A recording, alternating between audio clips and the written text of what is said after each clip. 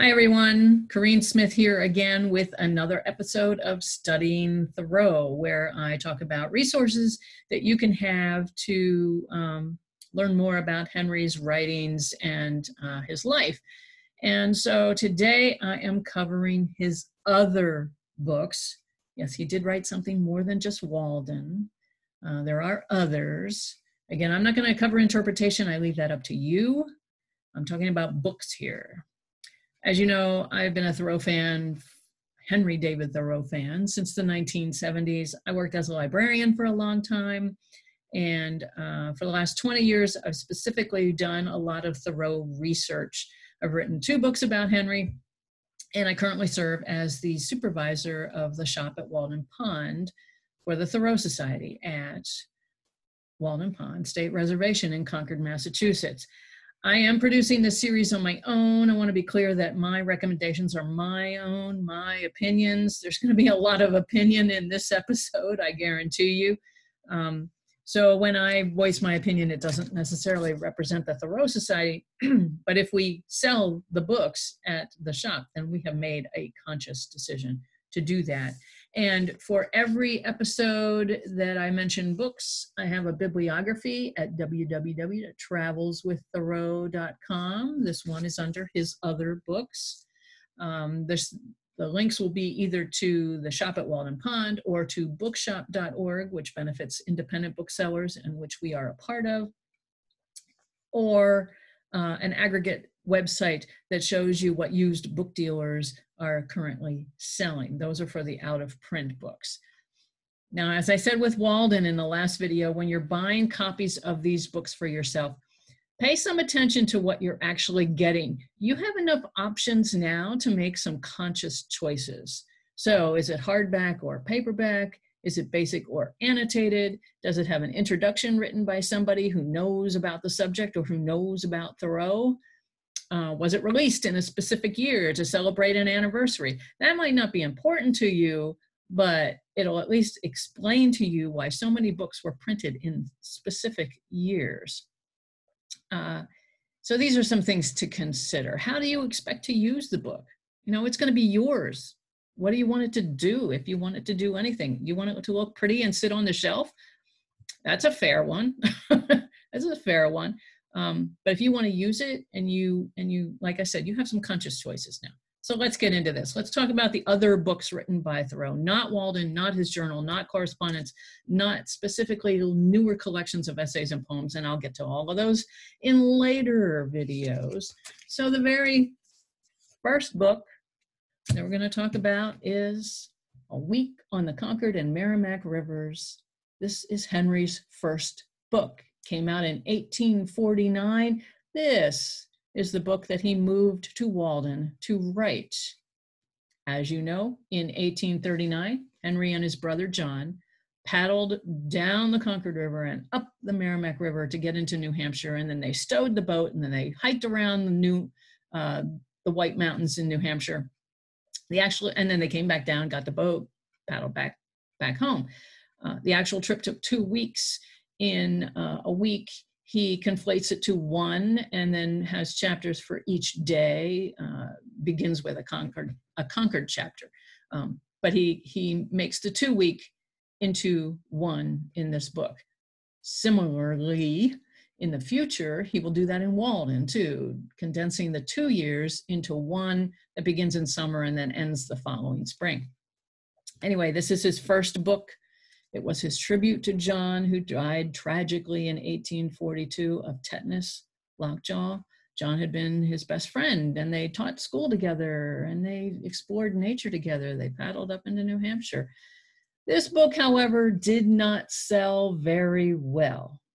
And you probably know this story, but it's a good one, and it is classic Thoreau. The publisher, which is named Munroe, printed a thousand copies of the first edition of A Week in 1849. And even four years later, they had only gotten rid of 294 copies, either sold or given away as review copies. So in 1853, Munroe sent back 706 copies of the first edition of A Week to Henry. And uh, he famously carried all the boxes up to his attic bedroom uh, in the Yellow House on Main Street, which is where the family was living at the time. And then he wrote in his journal, I have now a library of nearly 900 volumes, over 700 of which I wrote myself. isn't, isn't that great? See, funny. Henry was a funny guy, and not everybody pays attention to his humor. I don't understand why. If you want to look up that passage in his journal, it's dated October 28th, 1853. He talks a lot more about that. That's the, that's the sentence you hear a lot. But he talks a lot more about it, and he actually puts a positive spin on the experience. He actually says he's more inspired than ever before to keep on writing. Good for you, Henry. I'm not sure the rest of us would feel the same way. Um, and you also have to believe this is 1853. He died in 1862. That means these boxes were there for the last eight, nine years of his life. I don't, I don't know that they moved them in another part of the build, the building. The house is pretty big, but I don't, I don't know. Inspiration of boxes of unsold books. I'm not sure about that. So what happened to those books anyway? Well, some of them most of them were repackaged with new covers and then sold after Henry died in 1862. And they were republished in a way by Ticknor and Fields, his usual publisher, as it, uh, as it turns out. And they were billed as a second issue of the first edition. So if you find a copy of A Week that was released by Ticknor and Fields in 1862, right after Henry died, you will know that the pages inside, at least, were ones that Henry carried up to his attic bedroom. I, I think that's cool. I, I love that story. Should you read a week? There's a question. If you are a Thoreau fan, absolutely. Keep in mind that this is Henry's first book, and as a first time author, he wanted to tell it all. So, in addition to the journey of just the Concord and Merrimack rivers and a little bit of the White Mountains, he talks about other things. He talks about how in 1844 he took a walkabout around New England and walked up to Mount Monadnock in New Hampshire and then over to Mount Greylock in Western Mass. Then got on a train, met Ellery Channing. They went over to the Catskill Mountains in New York, came back. He also writes about his views about religion. Uh, he, this resulted in him offending at least one of his maiden aunts. So this is more than just a travel narrative. This is what Henry was thinking and doing in the early part of his life. So there are a variety of editions of a week. It's not as popular as Walden. Nothing is as popular of his as Walden. Uh, this is the Dover edition, the least expensive one you can get. Um, this one is from Penguin Classics. It has um, it has an introduction by Daniel Peck, who is a professor at SUNY Oneonta. Hi, Daniel. And this is the Princeton edition, the Princeton edition paperback. Princeton editions, again, are shorthand in Thoreau circles for the Princeton University Press project, where they go back to the original manuscripts and they reprint exactly as Henry punctuated and, and spelled and capitalized and all that kind of stuff. So this is the Princeton paperback, has a uh, introduction by American author John McPhee. This is uh, good because if you know John McPhee, he recreated part of this trip on the water himself and wrote a really good new article for the New Yorker about that, an extensive article. So that's why it makes sense that he wrote the introduction to a week. Now you know I always say, I don't want to talk about interpretation. I'm gonna I'm gonna divert from that for a moment. A week is not as popular and it isn't written about as much as Walden and other things. So when you find something that's written about a week, it's kind of special. So I want to show you this book, Thoreau's Complex Weave, the writing of a week on the Concord and Merrimack Rivers, um, by Professor Linck Johnson, and it says, with the text of the first draft. This was released in 1986 by University Press of Virginia. Looks like it has the same look and feel as a Princeton edition hardback. Okay, but it's not. I mean, even down to the to the ruler on the on the end pages, but it's not. But he talks a lot about the writing and about Henry at that time of his life, early on as an early writer. And again, it, it in the back of the book, it has the first draft in Henry's form. Now, this is kind of interesting. And one of the reasons why I'm showing you this is there are a lot of used copies of this book out there. And I have a link to them. And as a librarian, I decide I, I kind of like good books to get good homes. So that's why I'm saying if you want to know more about a week and you're interested in the writing process and in his drafts, Thoreau's Complex Weave, okay? You'll be able to get it from a used book dealer and actually it'll be cheaper than that Princeton paperback and that Penguin paperback that I just showed you. There are, are a lot of them out there. By the way, no one's ever created a fully annotated version of a week, so there's a project for you if you want it. Okay, so there's a week. And then there was Walden. And those are the only books that Henry published in his lifetime. So he did write essays, of course, that got published in a variety of periodicals, including The Dial, the Transcendentalist periodical.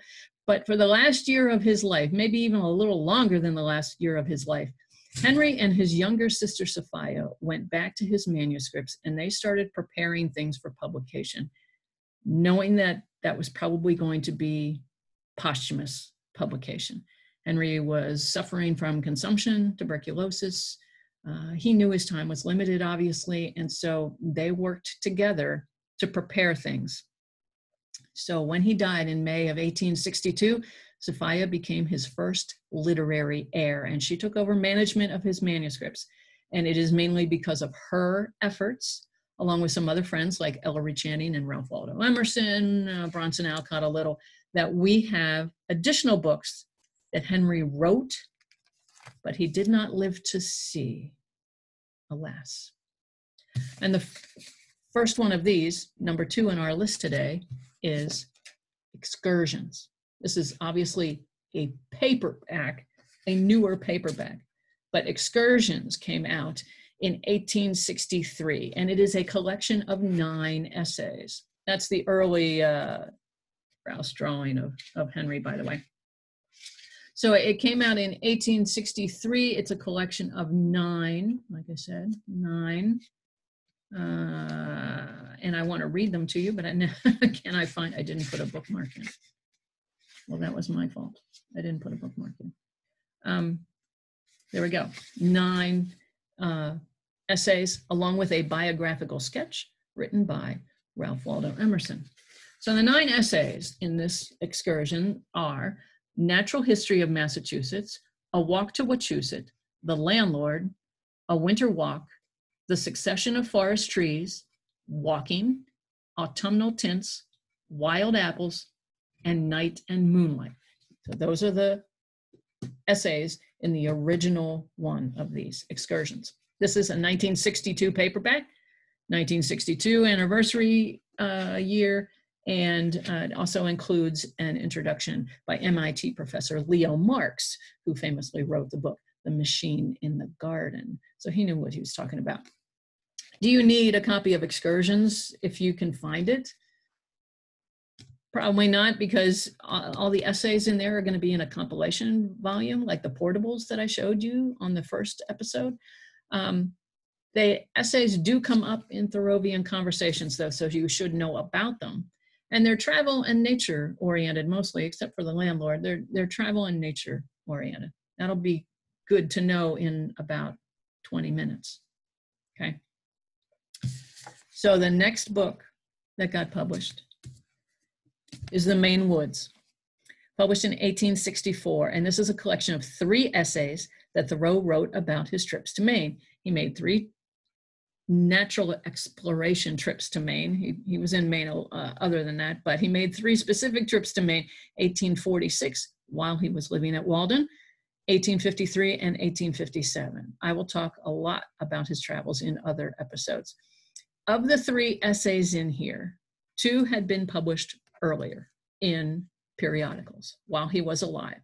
The Katahdin essay was serialized in Sartain's Union magazine of literature and art, and the Chesuncook essay had been published in Atlantic Monthly. This was then when editor James Russell Lowell had the audacity to edit out Thoreau's comment about a pine tree going to heaven. Henry did not like it when people edited his material without his permission. And uh, so as a result, he never submitted anything else to Atlantic Monthly as long as James Russell Lowell was the editor. That's a story that goes along with this book. Should you read The Maine Woods?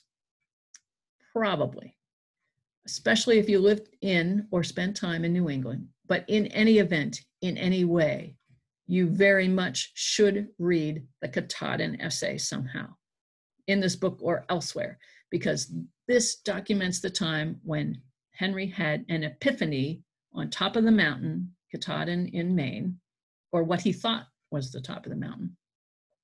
He had uh, an experience up there that changed his life. He found true wildness up there. That passage comes up again and again in Thoreauvian studies, and it's a pivotal, pivotal moment in his life. So it's good to know the context and good to know where it came from.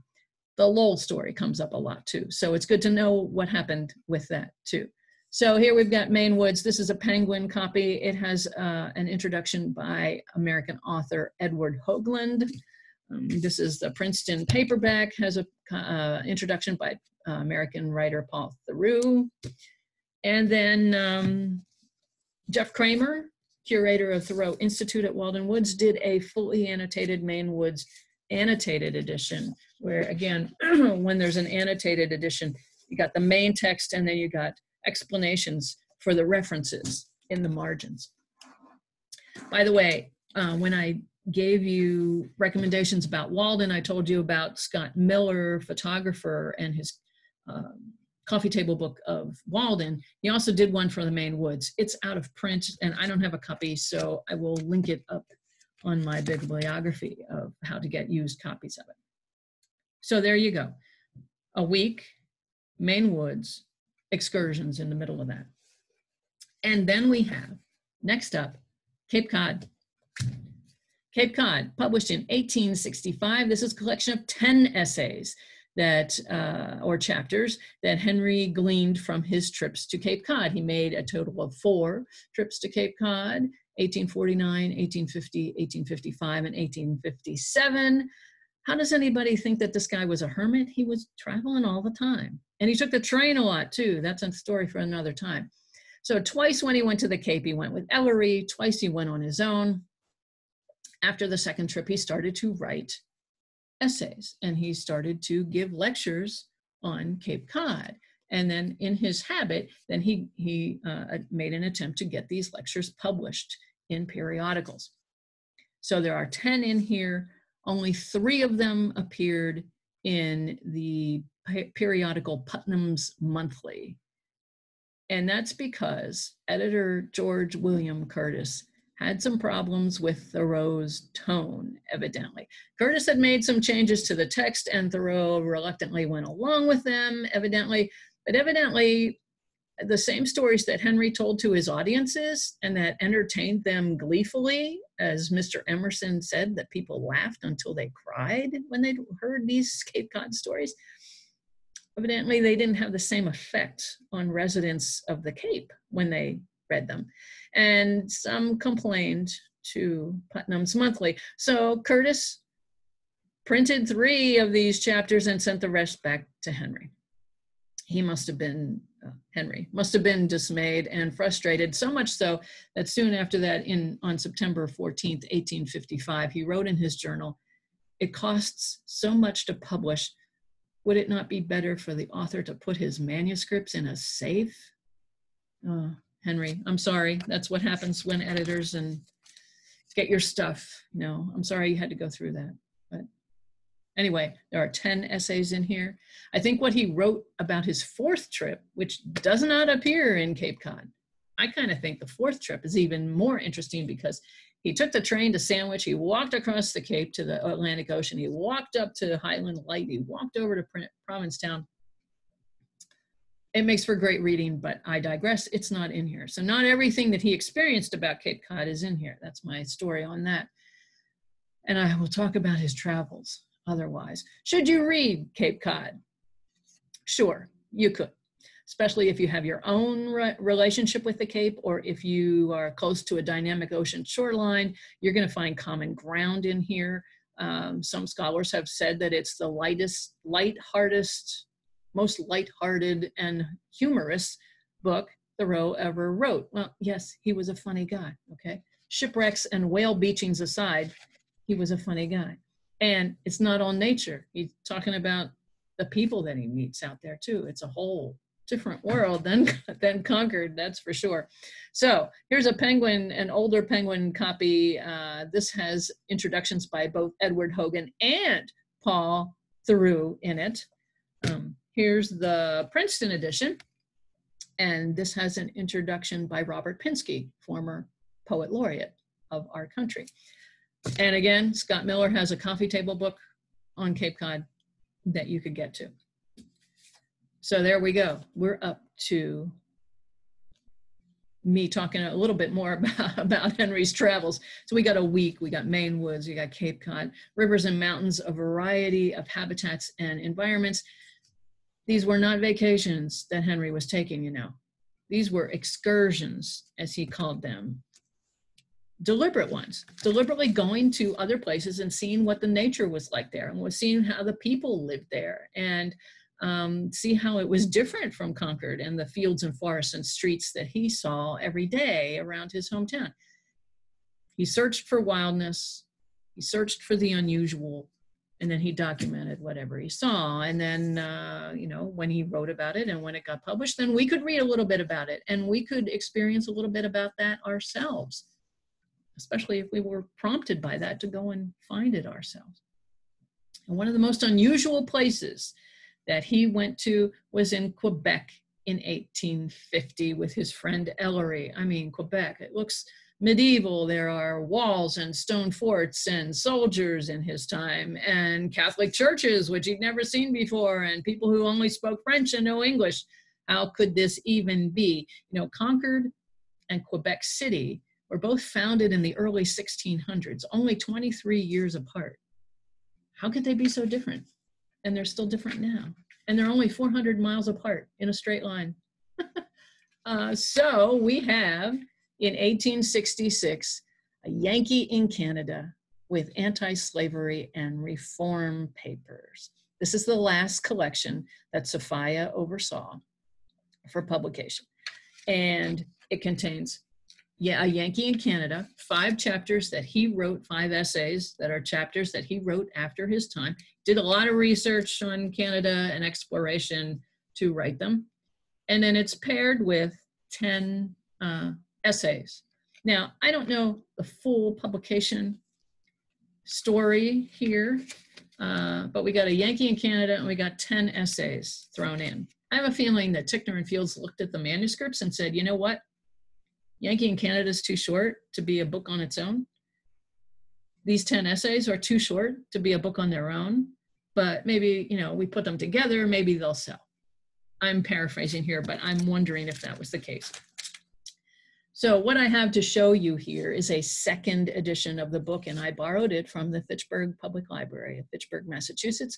A shout out to director Sharon Bernard and all of her terrific staff. They do a great job and uh, allowed me to take out their second edition of A Yankee in Canada.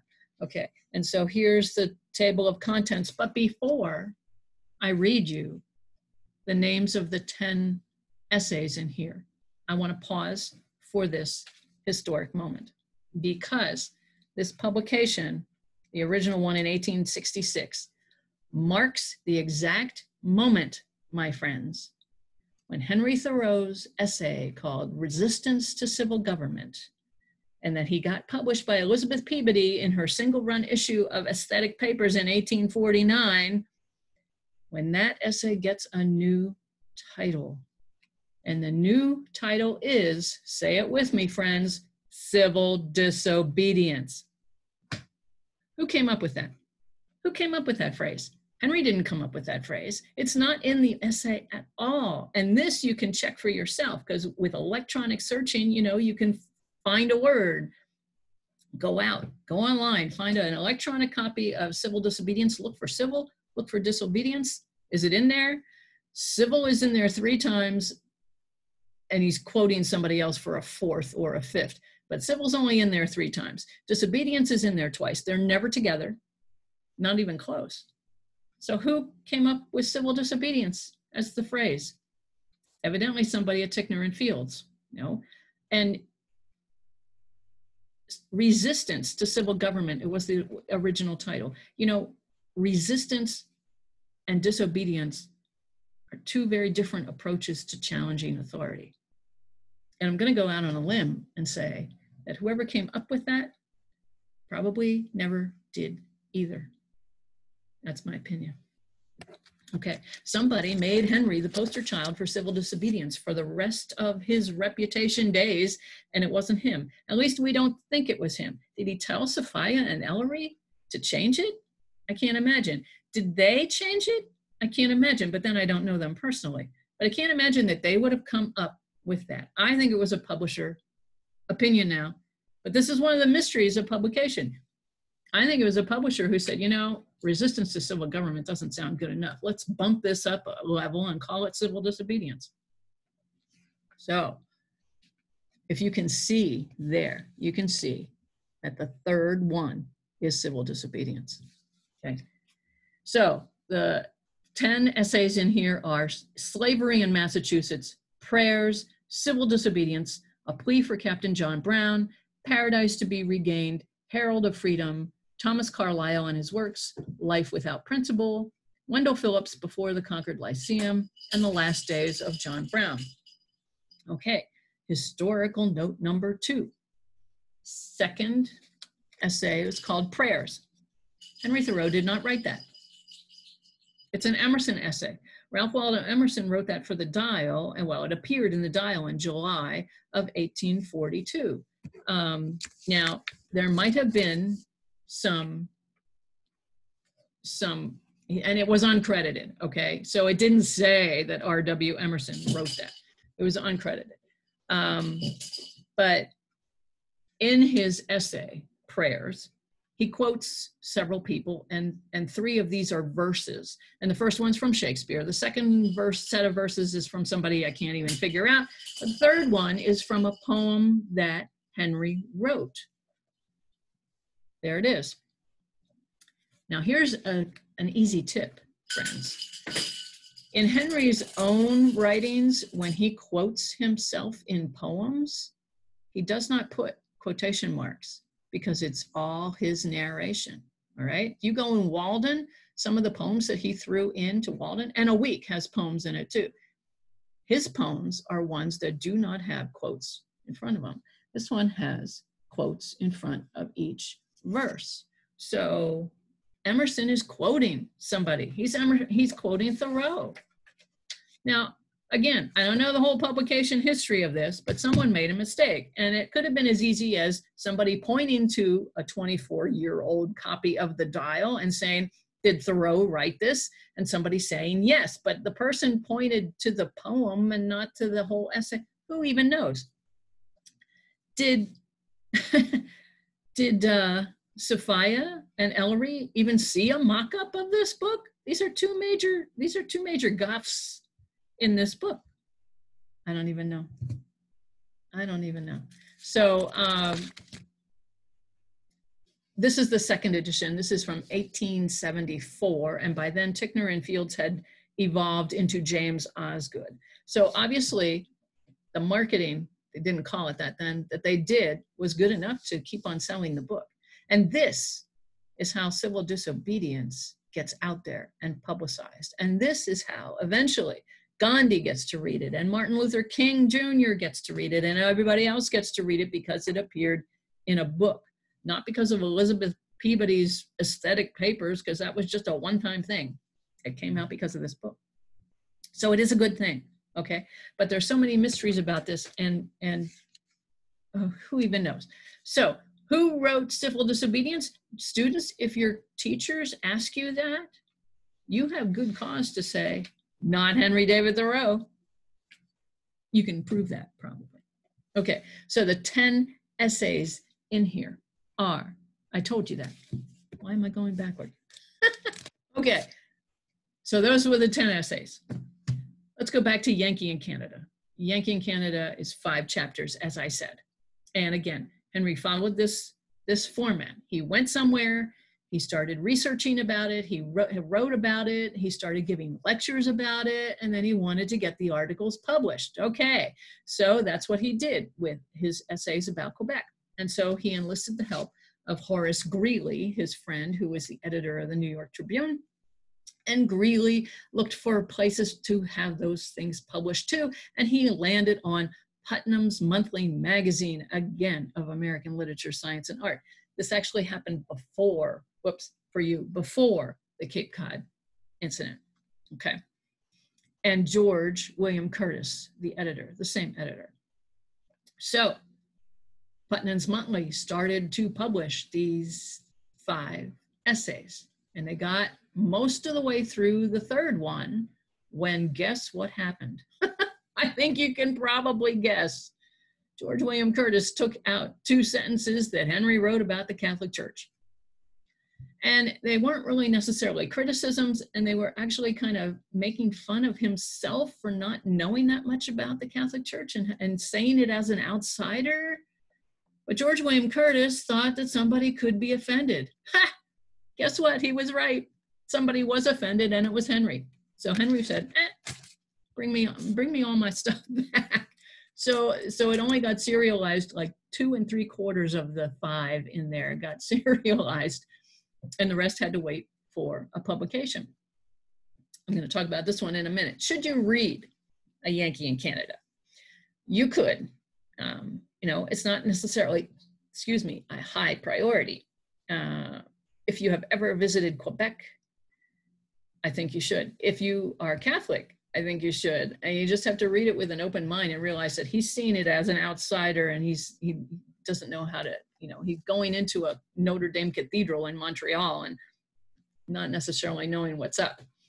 I'm actually working on a new edition of uh, A Yankee in Canada that I hope will um, remedy some of the issues around it. I hope it um, is attractive to people on both sides of the border. And I'm also going to include directions for um, following in Henry and Ellery's path, because that's kind of cool. But there are a variety of Yankee books out there that still have the 10 sent the 10 essays in them. Um, make sure, well, you can, you can check that out.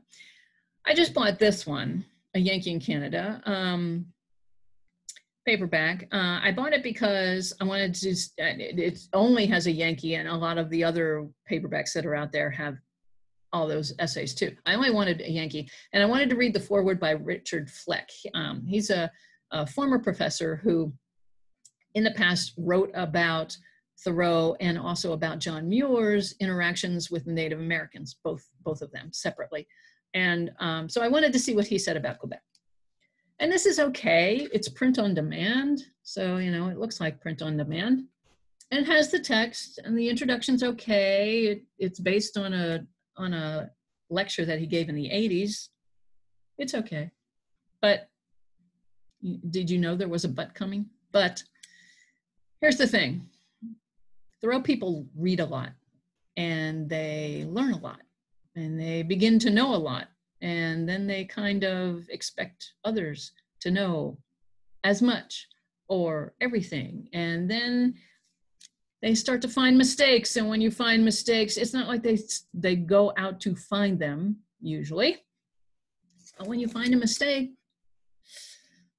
you kind of call it out. So you knew this was coming.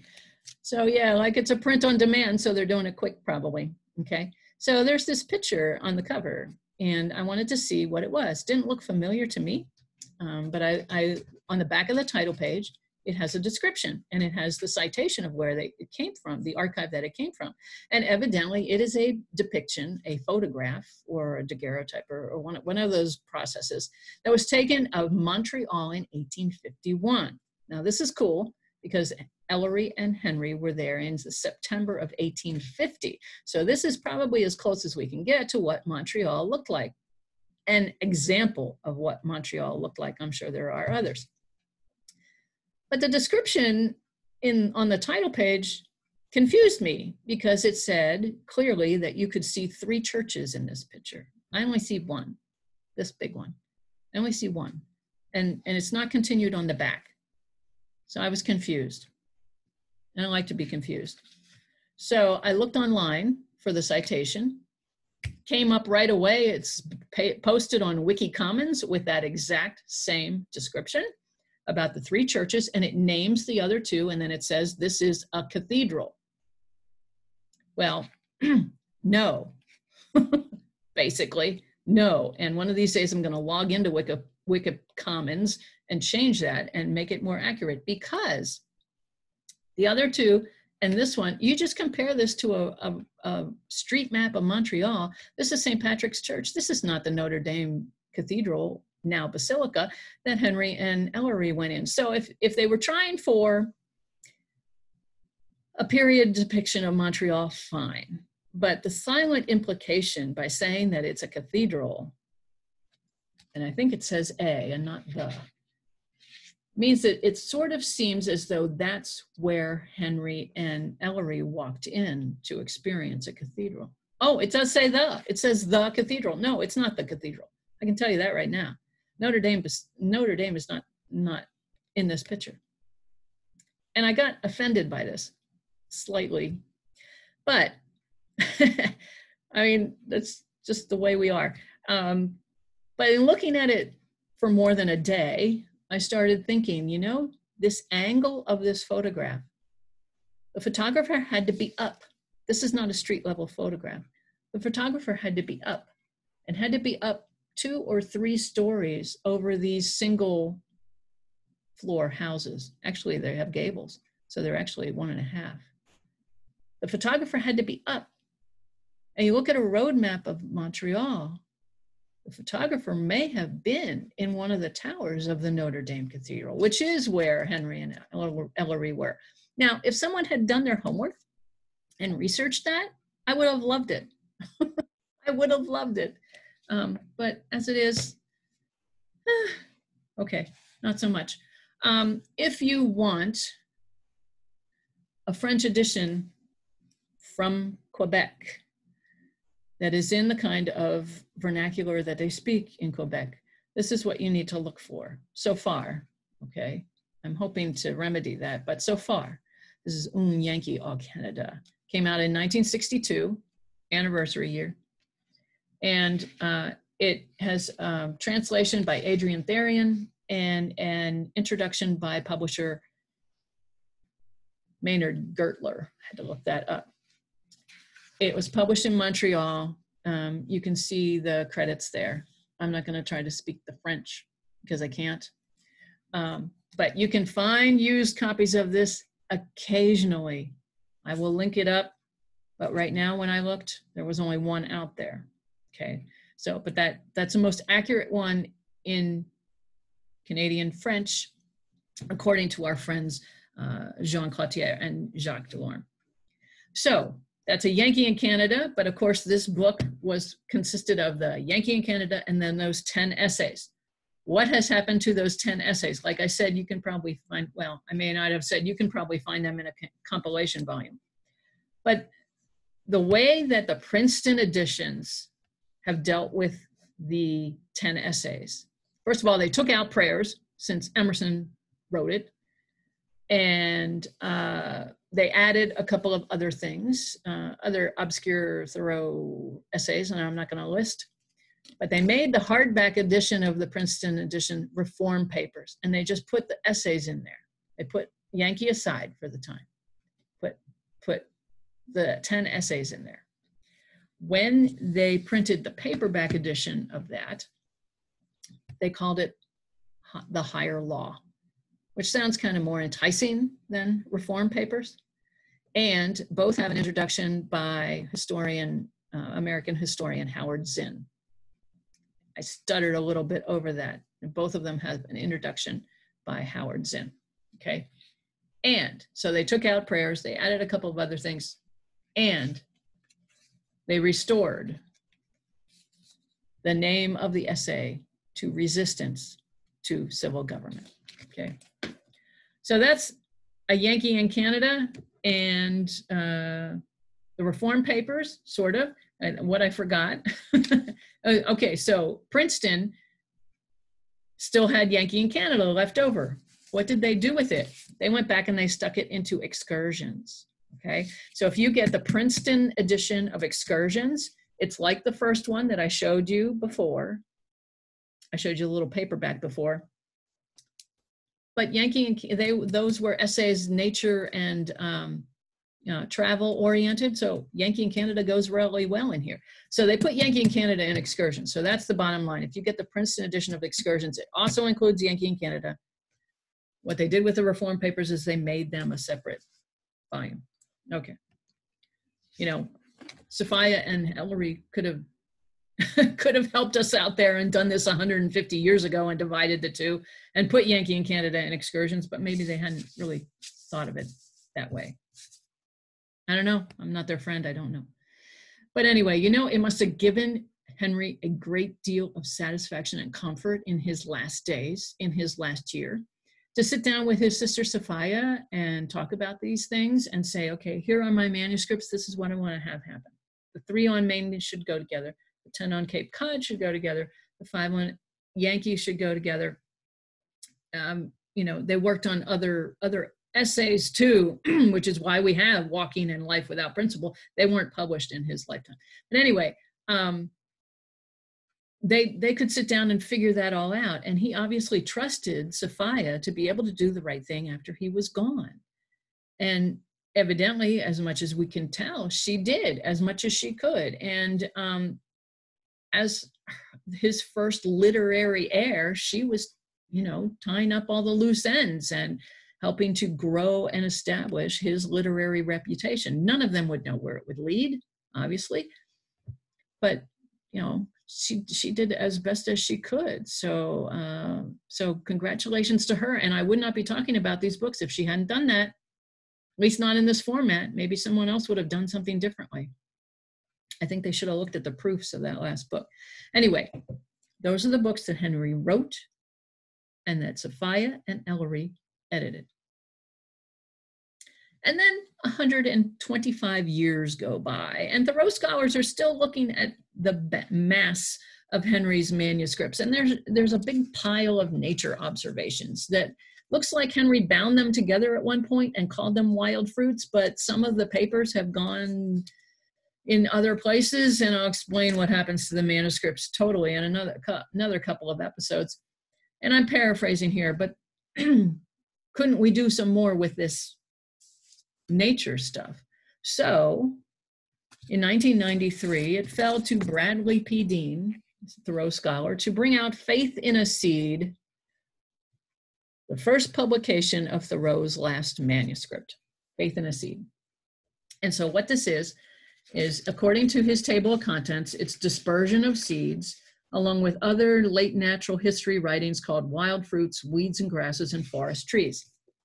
So, you know, you know Henry was big on nature observations. Now, you know, maybe, that people didn't always know how plants and trees got established. They didn't know how they reproduced. They thought at one point, probably, that it was divine intervention that that particular plant grew in that particular patch and didn't really think about how they reproduce.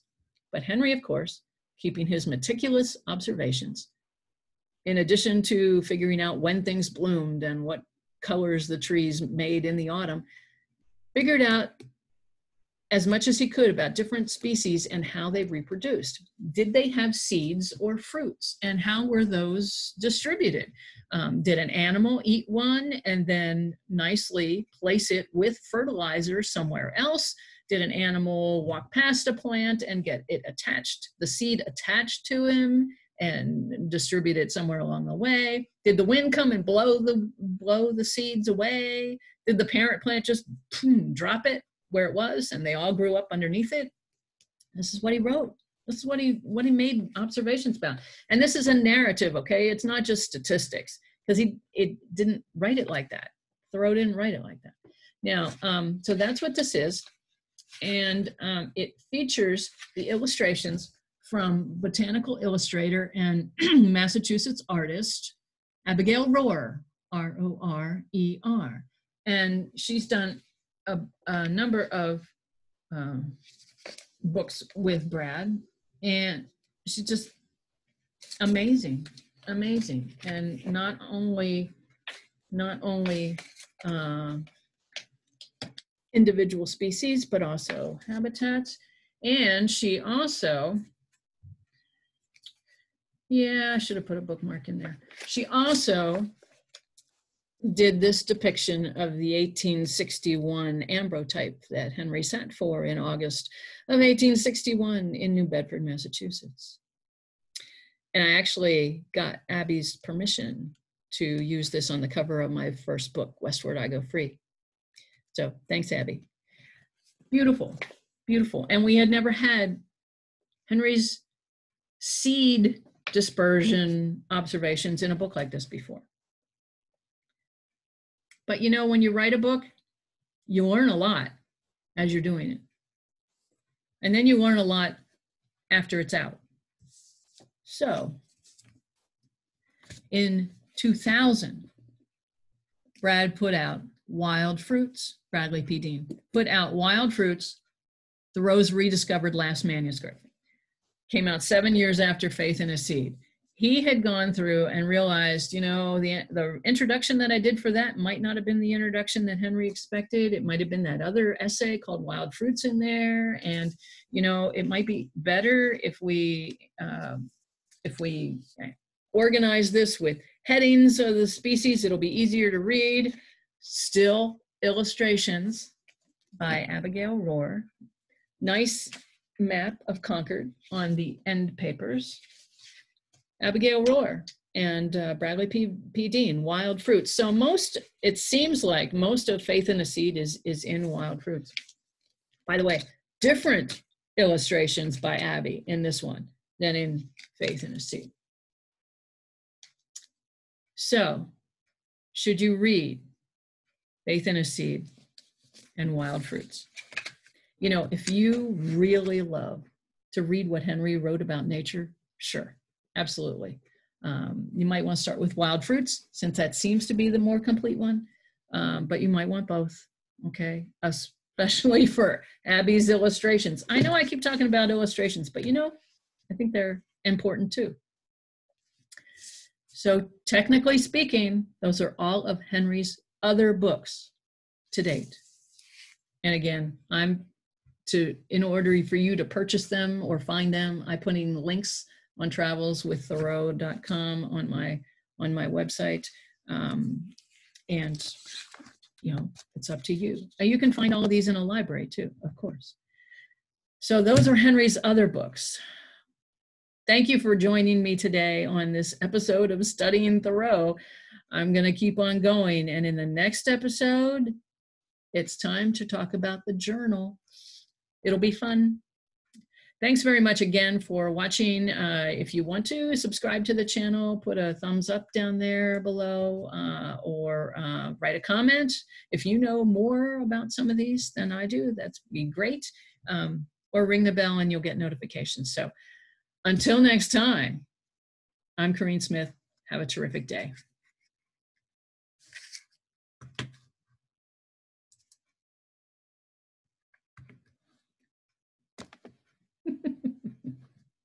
I can't stop it.